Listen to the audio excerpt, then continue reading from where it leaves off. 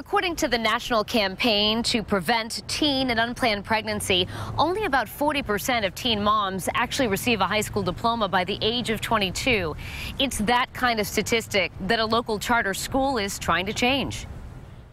Some days are good as far as like everything's on time. This is 17 year old Leah Thompson. Some days are like rushing, rushing, rushing, rushing. Rushing because she not only has to get herself ready for classes, but she has to care for her 15 month old son, Zandre.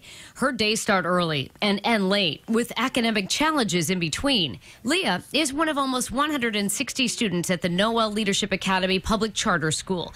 Currently, there are two campuses, one in Providence, the other here in Central Falls, serving mostly pregnant and parenting students. In fact, almost a dozen students utilize child care services provided through the school program for their babies and toddlers.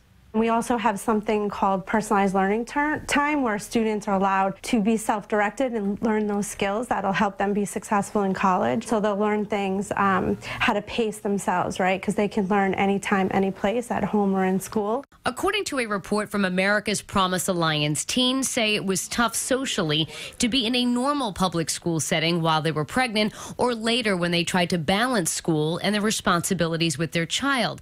The Academy has a flexible and personal model designed to keep more students coming back to class and not dropping out.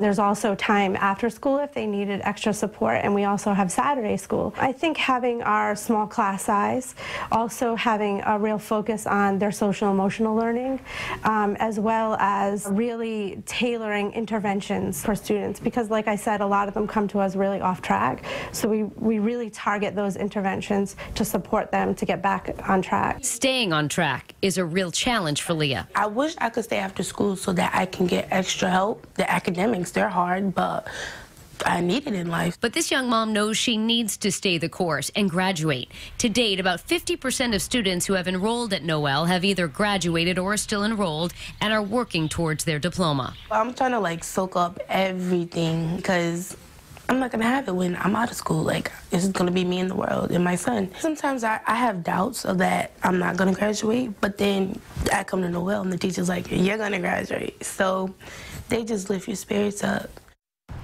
Now, Nowell Academy is actually a public charter high school, and it is open to all students. Along with some state and local resources, they're also funded with some private donations and fundraising. I'm Danielle North, Eyewitness News.